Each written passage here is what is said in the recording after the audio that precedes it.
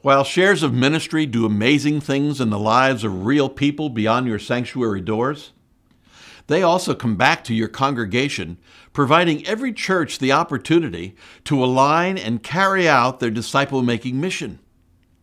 Your shares have grown a wonderful library of video and print resources that can be borrowed by your church school teachers, small group leaders, pastor, and lay leadership at no cost through Discovery Place.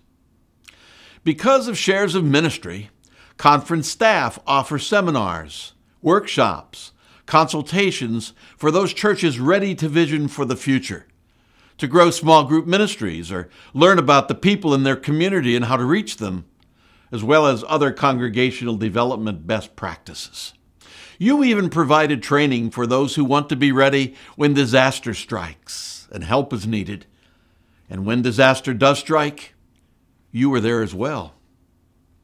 You helped make our churches, children's ministries, and conference programs safer for children and vulnerable adults by training well over 1,300 persons in safe sanctuaries last year alone. Your church provided valuable church centered demographic and lifestyle information from MissionInsite, as over 500 registered users received reports helping them to claim their communities for Christ and your shares help tell our story to over 20,000 persons through the Link newspaper, quick link email, social media presence, video production, and communication workshops, all available to every church that wants to learn how to reach those not currently in our churches. Friends, none of us could do all of this on our own.